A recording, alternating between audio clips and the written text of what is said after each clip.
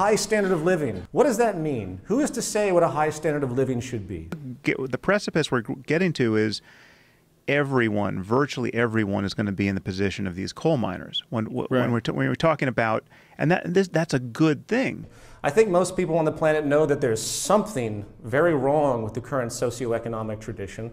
They just don't know how to think about the solution.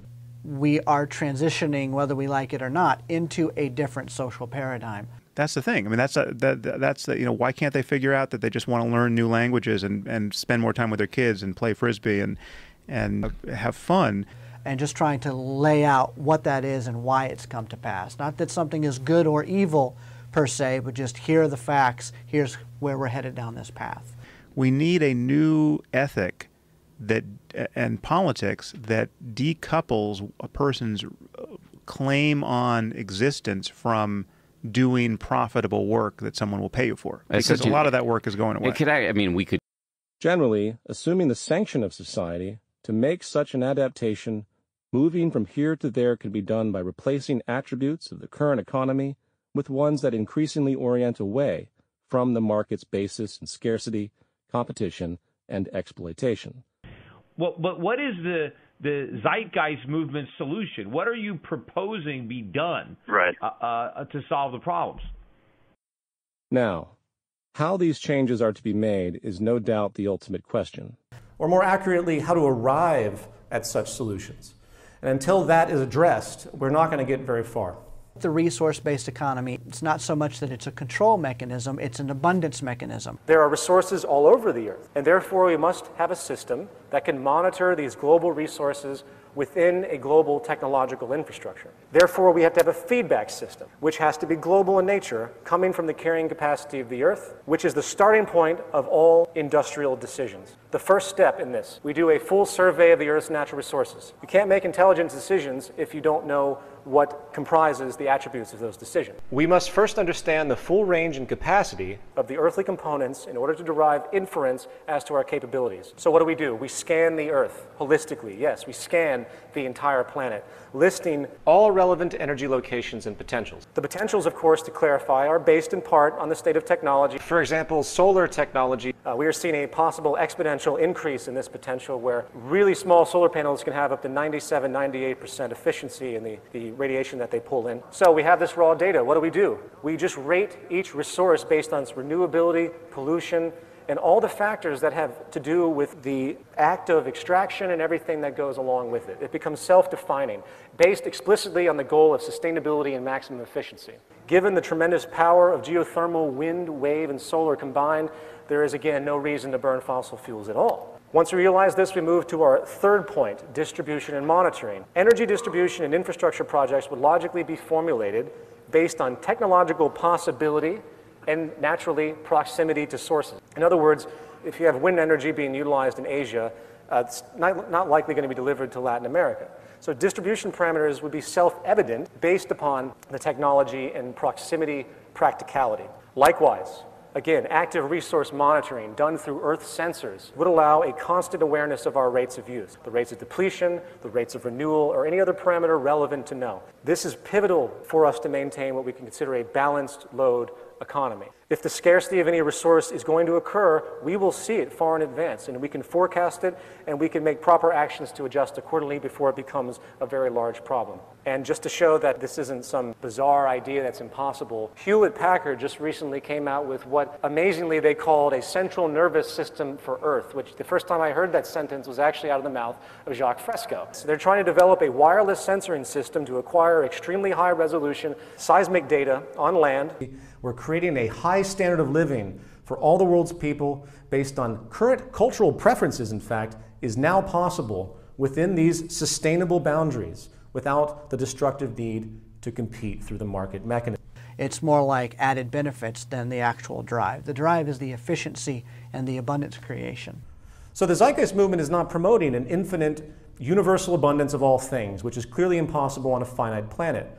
Rather, it promotes a post-scarcity or abundance worldview with an active recognition of the natural limits of consumption on the planet while seeking equilibrium. And so what the resource-based economy does is take all of our technical innovations that we've developed up to this point especially automation, and using those in a way to benefit all people and not just those who copyright, maintain, and hold sway over that particular development. While it is easy to theorize such ideal changes and their merit, transitioning to them smoothly involves many considerations.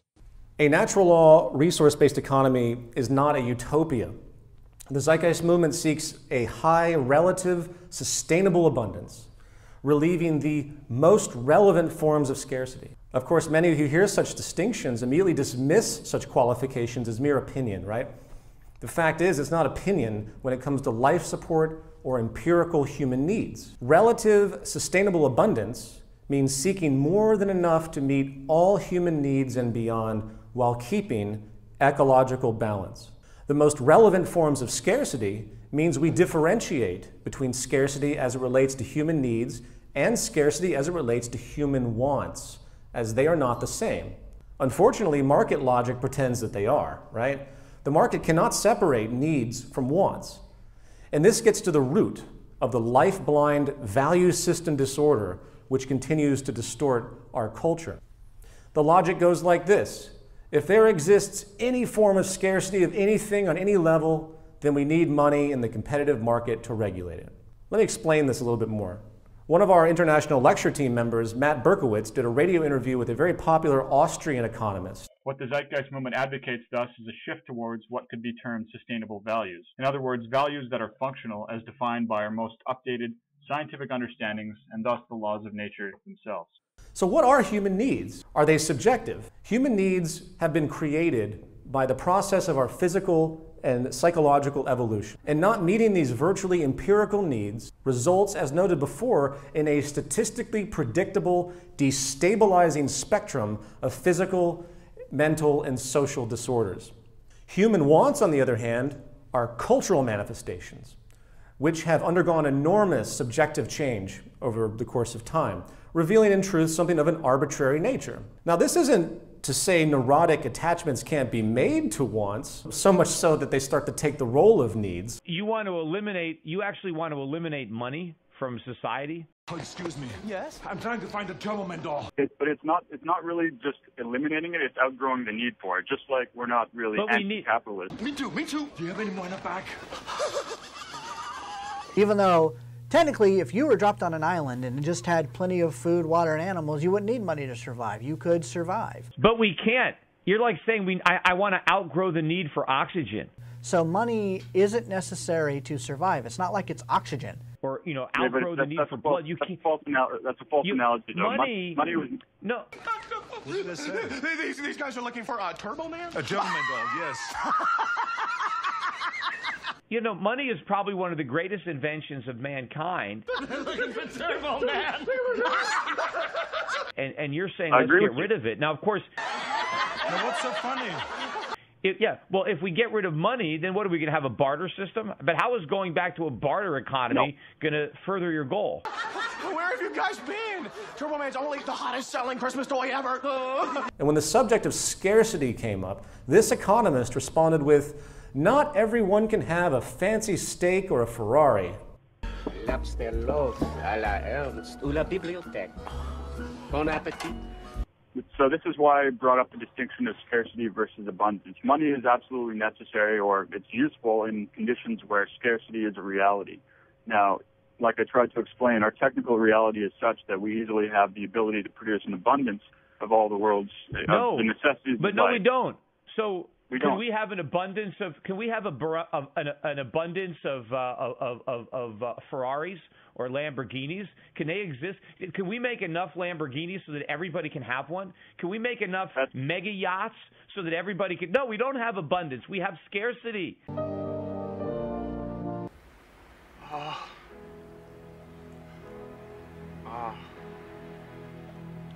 This was his definitive view of what scarcity means. Now, that may be true. Not every human being can have a 500 room mansion with three jets parked in the front lawn with half the continent of Africa as his or her backyard.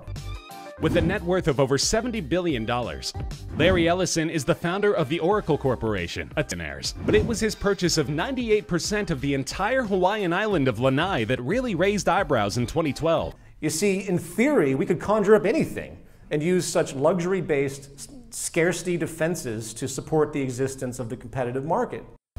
The digital revolution would have looked a lot different without the contributions of Bill Gates. Jeff Bezos got his start on Wall Street before founding Amazon.com in 1994 at the dawn of the World Wide Web. I think at a certain point, the the wealth inequality will be obviously unsustainable. Shockingly skewed.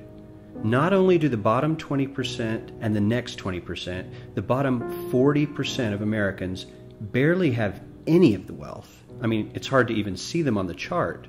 But the top 1% has more of the country's wealth than 9 out of 10 Americans believe the entire top 20% should have.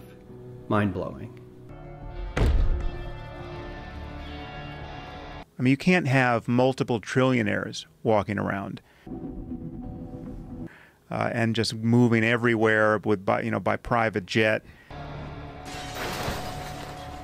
living in compounds with razor wire. What would happen if they knew that the head of Packer Capital was in the car? We know what the anarchists have always said. Otherwise, people are just going to show up at our compounds with with you know, their AR-15s or their pitchforks and. Yes. Tell me. The urge to destroy is a creative urge. You know that the society will, will will not sustain it. So I, I kind of look at these very wealthy people as victims, just like the rest of Oh. I agree. This is also a hallmark of capitalist thought enforced destruction. Old industries have to be harshly eliminated, new markets have to be forcibly claimed, and old markets have to be re exploited. I agree, absolutely. I don't demonize any default. I don't demonize really anybody. and then massive levels of unemployment in a society like ours. I mean, at a, certain point where the richest people will realize that All right, this is Peter Schiff, and I've come down here to occupy Wall Street to represent the 1% and see if I can have a dialogue with the other 99%, maybe see if we can find some common ground, enough is enough. We have to spread this wealth because and maybe I can help educate the people uh, to direct their protests to the more appropriate source, because it's my opinion that they shouldn't be here occupying Wall Street. They should be in Washington occupying Pennsylvania Avenue. They I mean, there we can argue people's, you know, moral compass on a couple different levels, but Destroy the past, make the future. should be protesting in front of the White House, in front of the Federal Reserve, in front of Congress. they're all we're all victims in some on some level of the Right. culture and the world we've been brought into. And you're absolutely right regarding the happiness issue. in front of the Supreme Court. Second chapter of the book, I describe all the research about how people that gain lots of wealth that automatically lose empathy the Right. higher they go up, Right. and become more miserable Mhm. and become more addiction prone because money becomes an addiction.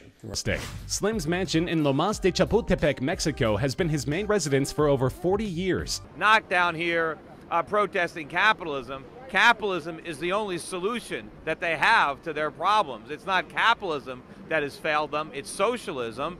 And in other words, it's open source, not just open source information, but open source technology and open source access. I hate to be cliche here, but we have the icon of the Trump presidency, Yeah. and the, all the values that clearly he puts forward, winning, Right. you know, a complete lack of empathy, you know, Right. and, and rewardingly so. Like they, he appreciates that he doesn't care. Yeah. and that that kind of embodies, I think, the the psychology, the social psychology that we we have as not only a culture but definitely pollutes the wealthy more than anybody else, which is really troubling because it's obviously the wealthy that have the lobbying power. It's obviously the wealthy that have been in control of government, Right. not just in this modern period but throughout history, going all the way back to monarchs, those that have the most resources, and they are by nature the most indifferent. Nature meaning they've there's something about this arc. The more power and money you have, specifically money Exactly. leading. Yeah. So we're kind of screwed in that sense. Completely wrong. But first, I employ I employ 150 people. Hold on. I employ 150 people, right? I've created those jobs. How many jobs did you create? How many people did you employ? How much money have I given you? You're not just spouting some bullshit no. here. There are studies showing that the more wealth someone has, the less able they are to perceive pain in someone else's face. Did you see that study? Exactly. Yeah, that's Yeah. precise. No, it's in the book too. But what you're forgetting is if I make a 100 million, I had to create a lot of jobs to make that money. That's the point. When the capitalist no, is see, there's a making money, thing called greed. We're stuck in a power system. And the problem with Well, we're all, we all greedy. Everybody. No, no, we're not. Well, you cannot say that we're all greedy. you cannot. Well, you don't you don't you want things greedy. for yourself? You don't want more. You don't want better things for yourself. That's fundamentally indifferent by this kind of determinism that's Right. happened.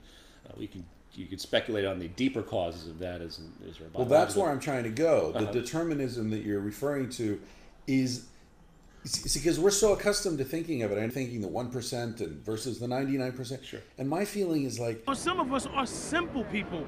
We just want a place to live. We just want some food in our refrigerator. it's no, it's all it's hundred percent against this system, whether we call it uh, corporations or we call it uh, you know institutions or we call it the, the sort of the mega organism or whatever it is. Capitalism and care of our capitalism, but capitalism is the best way to get those things. whose agenda is against ours. And the difference between the one per, the one percent are like the The answer to that question is not who, it is what. And what determines our standard of living is the current state of technology in many ways, and what is required to keep, of course, social and environmental sustainability on a finite planet. That's basically the equation. If we as a society wish to keep the value of constant materialism, growth, and consumption, promoting the virtue of having infinite wants, then we might as well just kill ourselves right now. As that is going to be the end result if we continue to push past the limits of the physical world with respect to our resource exploitation and the loss of biodiversity. So I want to make it very clear this new economic proposal isn't just about seeing how the market is obsolete per se, given our new power, powerful awarenesses of technical efficiency. It is also about the fact that we need to get out of the market paradigm as fast as we can before it causes even more damage. No one actually knows how to effectively shovel resources from the minority that, that controls almost everything to the majority that has almost nothing in any consistent way. DMAS is about learning to apply these principles of mimicking the way nature solves problems and applying them to all aspects of our lives. This, on some level, is possible if we don't destroy ourselves in the interim. Imagine we accomplish this. in order to reduce the total amount of mass that is invested in producing the wealth and the progress that we all want, and to being able to take care of ourselves and the entire population of the planet on a sustainable basis.